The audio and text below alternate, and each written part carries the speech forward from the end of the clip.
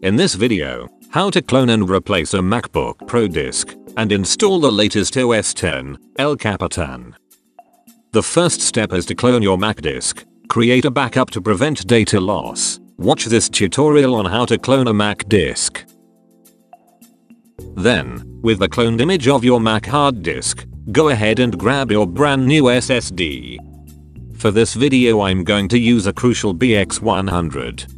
This BX100 is known for its capabilities. The performance is good for all workloads. The price and its energy efficiency is certainly a great upgrade option. You also need an external hard drive enclosure with a 2.5 inches USB SATA serial port capably to connect your hard drive or the solid state drive. Now, without the bottom case of your Mac, access the hard drive and replace it with the new disk. Take out these two screws, pull it out, and unplug the eSATA connector.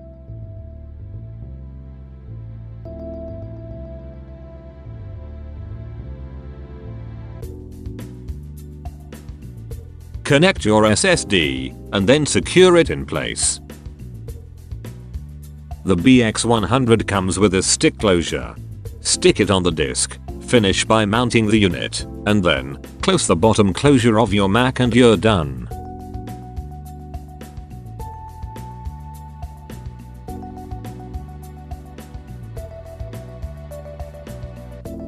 Now with the latest OS X application on the external hard disk, connected with the SATA head, plug it in the USB port on your MacBook.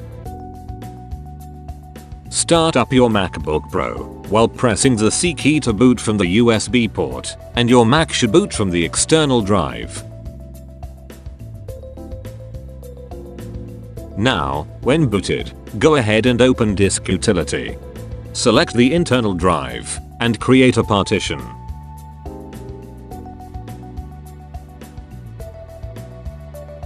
Give it a name, and on format type select Mac OS X Journaled.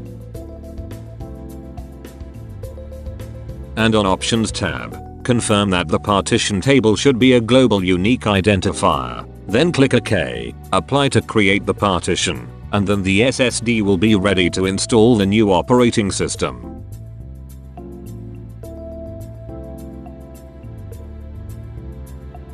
Now, download the latest OS X from apple.com. On the top menu, click on Mac and enter on OS X El Capitan.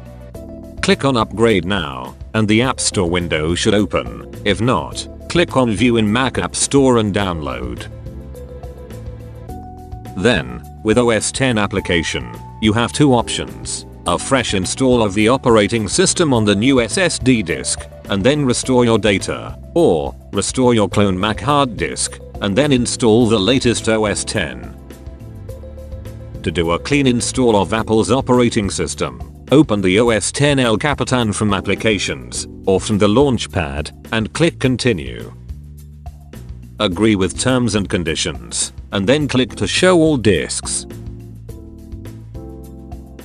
Select the SSD drive, click Install, type your credentials, and it will begin to install OS X El Capitan in your new Mac. Now instead of a fresh install, you want to restore all your Mac hard drive. All you have to do is to create the partition in the new SSD disk, and then restore the cloned data from the backup disk to the partition itself. On Disk Utility, select the new disk, go to Edit, and create a new partition. Define your settings and hit apply. Then, from the backup drive, open the cloned Mac image and paste all your data to the new SSD partition. And this is how you replace and install OS X El Capitan in a brand new disk. Now, if you need to create a bootable pen drive with the latest OS X operating system, watch this next videos.